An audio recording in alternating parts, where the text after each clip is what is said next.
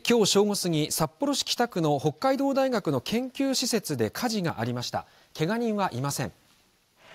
火事があったのは札幌市北区北八条西9丁目の北海道大学農学部の研究施設です。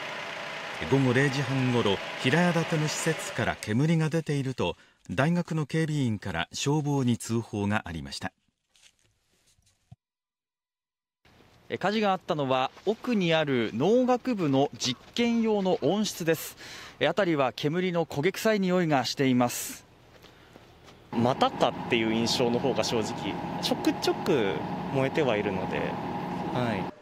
い、消防によりますとこの火事で内部の壁などおよそ38平方メートルが焼けて火はおよそ2時間後に消し止められました。怪我人はいません火が出た施設では研究用の植物が栽培されていて警察は焼け方が激しい天井付近を中心に出火原因を調べています。